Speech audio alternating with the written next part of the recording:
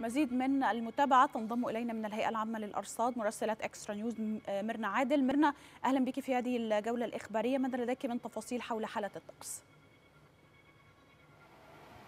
تحياتي لك إيمان تحياتي لكل مشاهدي شاشة أكسترا نيوز بالفعل منذ ما يقرب من يومين بدأنا نلحظ ارتفاع ملحوظ في درجات الحرارة أيضا لدرجة الرطوبة. هذا الارتفاع يأتي مع زيادة في سطوع أشعة الشمس وأيضا خاصة في الساعات الظهيرة. نشهد هذا الارتفاع في درجات الحرارة ومع حلول شهر رمضان الكريم. بالطبع ارتفاع درجات الحرارة يجب أن يتابعه المواطنون للتعرف على أبرز وأهم الأوقات الأوقات التي يجب أن يتجنبوا النزول فيها إلى الشوارع وذلك للحفاظ على سلامتهم. ونتعرف على تفاصيل أكثر حول هذه الموجة من ارتفاع درجات الحرارة وكل ما يخصها عن حالة الطقس. يسعدنا أن يكون معنا دكتور منار غانم عضو المجلس الإعلامي لهيئة الأرصاد الجوية. بنرحب بك يا دكتور على شاشة أكسترا أهلا طبعا بحضرتك أستاذة ميرنا وأهلا بكل السادة المشاهدين في الهيئة العامة للأرصاد الجوية. منذ ما يقرب من يومين بدأنا نلحظ ارتفاع في درجات الحرارة أيضا درجات الرطوبة. حدثينا عن هذا الارتفاع الملحوظ الذي نشهده هذه الأيام. بالفعل إحنا بدأنا من الأسبوع الماضي نشهد ارتفاعات تدريجية في درجات الحرارة. ذروة الارتفاعات دي كانت بالأمس. وصلت العظمى على القاهرة الكبرى ل 36 درجة مئوية. الأجواء كانت بالأمس شديدة الحرارة خلال فترات الليل. الأجواء باردة خاصة إن إحنا بنلاحظ خلال فترات النهار زيادة لفترات سطوع أشعة الشمس. معظم الكتل الهوائية اللي بتأثر علينا كتل هوائية الجنوبية قادمة من الصحراء شبه الجزيرة العربية أو حتى الصحراء الغربية.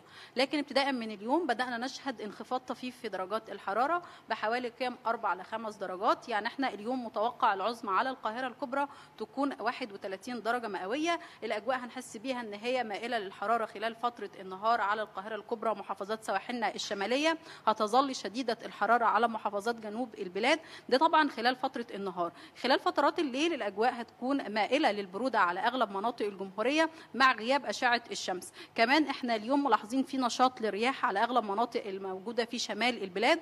نشاط الرياح ده اليوم بيزود إحساسنا بالأجواء الربيعية وتلطيف للأجواء وانخفاض في درجات الحرارة. ده هيكمل معانا غدا إن شاء الله انخفاض طفيف في درجات الحرارة. لكن متوقع من يوم الثلاثاء القادم يكون في ارتفاع ملحوظ في درجات الحرارة. موجة ارتفاعات في درجات الحرارة تستمر معانا لنهاية الأسبوع إن شاء الله. هتبلغ فيها العظمى على القاهرة الكبرى ما بين 37 وال 38 درجة مئوية. ده طبعا خلال فترة النهار. الأجواء هتبقى شديدة الحرارة خلال فترات النهار. خلال فترات الليل أيضا في ارتفاع في درجات الحرارة الصغرى هتكون ما بين 19 وال 18 درجة مئوية خلال فترات الليل. الأجواء هتبقى لطيفة خلال فترات الليل.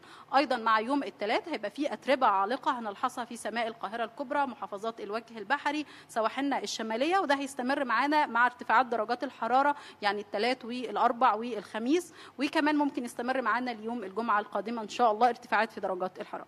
حدثينا عن درجات الحرارة حدثينا أيضا عن درجات الرطوبة. ما هي الحالة المتوقعة لدرجات الرطوبة خلال هذه الأيام مع ارتفاع درجات الحرارة؟ هو بالفعل إحنا دايما في الربيع متعودين على نسب الرطوبه المنخفضة لأن إحنا معظم الكتل الهوائية اللي بتأثر علينا في فصل الربيع هي كتل هوائية جنوبية معظمها قادمة من الصحراء الغربية أو حتى الصحراء شبه الجزيرة العربية. الكتل دي بتبقى منخفضة نسب الرطوبة. عشان كده إحنا دايما بنقول إحساسنا بدرجات الحرارة في فصل الربيع مش زي فصل الصيف لكن طبعا نسب الرطوبة بتبقى خلال فترة النهار على القاهرة الكبرى بتكون ما بين ال 30 وال 35% خلال فترات الليل بتكون ما بين ال 75 وال 80% نسب رطوبة منخفضة مقارنة طبعا بفصل الصيف وده اللي بيجعل المواطنين ما يشعروش بالارتفاعات درجات الحرارة الشديد خاصة كمان مع وجود نشاط للرياح. نشاط الرياح ده ما بيخليناش نشعر بارتفاعات درجات الحرارة وبيؤدي لنسب رطوبة أقل.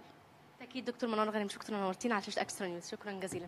اذا إيمان ومشاهدينا هي ارتفاع درجات الحرارة ارتفاع ملحوظ نلحظه خلال هذه الأيام. ربما اليومين اليوم والغد ستكون هناك انخفاض نوعا ما في درجات الحرارة لتعود درجات الحرارة في الارتفاع مرة أخرى بحلول يوم الثلاثاء. لذلك على المواطنين تجنب السير في الشوارع خلال الساعات التي تأتي بها ذروة الظهيرة وسطوع اشعه الشمس. وبالعودة إليكم مرة أخرى في الاستوديو.